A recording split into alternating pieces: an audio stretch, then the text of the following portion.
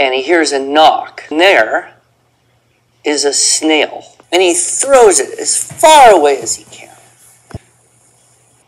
Three weeks later, he opens the door, and it says, So, what was that about?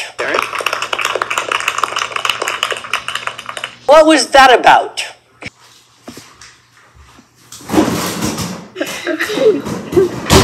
All right. Now we've got to read. It was already 96 degrees outside and it was only 7:49 a.m. But her dad responded, "You have to work, then I will give you $7.25." As she continued to hear the music playing, she remembered that it was music from an ice cream truck. Truck, truck, truck, truck, truck, truck. Could not suggest anything better than a double scoop German chocolate ice cream cone. As Ava consumed the ice cream, she adamantly agreed that the German chocolate was indeed the best on a day like today. And desired ice cream from Tony, so Ava requested to buy more of the delicious ice cream.